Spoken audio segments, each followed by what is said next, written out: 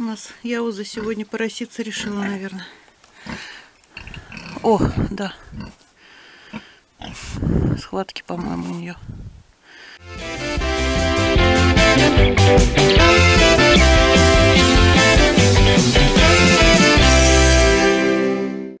Кажется, мы рожаем. Но она меня не пустит. Потому что я пыталась ей к ней зайти. Она на меня чавкала. Подстилку все растеребенькала. Вот ты сегодня что, рожаешь или ты уже рожаешь?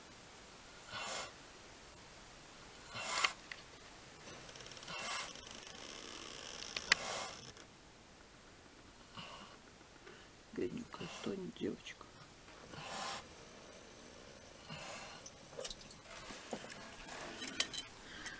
Ты что там булькаешь? Хрю. Это кармал маленький.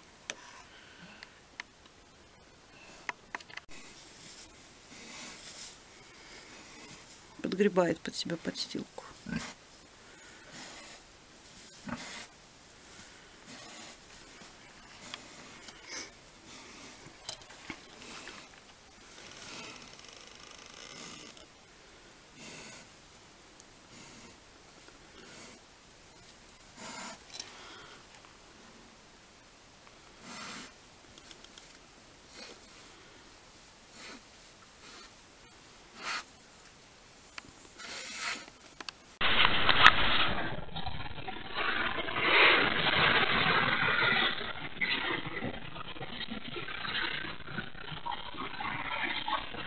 Маленькие родились.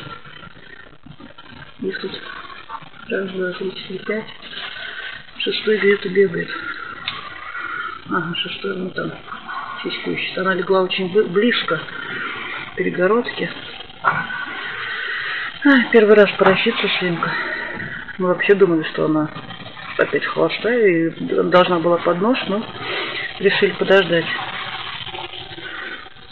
родились девять, один калечный, у него таз от позвоночника был отделен, умер, второй мертвый родился, одного она придавила, и того шесть штук у нас вот тут бегает.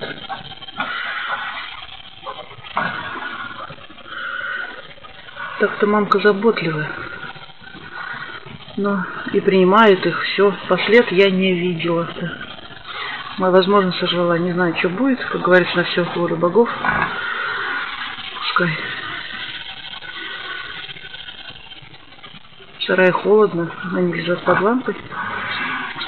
Так-то он продвигается, но я, конечно, боюсь, что задавит. Очень боюсь, что задавит. Нагребла вон. В общем, вот так у нас прошел опорос. Всю ночь мы не спали. Маманька лежит. Дети сосут. Кто выживет, тот выживет. Что ж теперь? Для первого опороса считаю неплохо. Ну, места нет, конечно. Я боюсь, придавит. Надо вот эту нижнюю планку. Вот два лаза сделали. Понадеялись. Вот эту все-таки нижнюю надо будет как-то убрать. Гуждодером отколупать.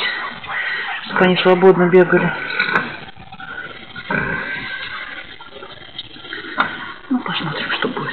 Что будет, то будет.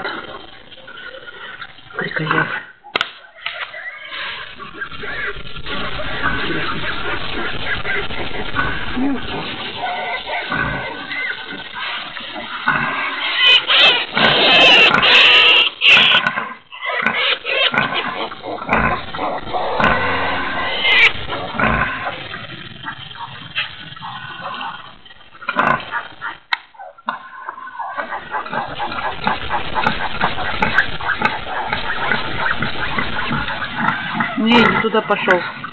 Вернись назад.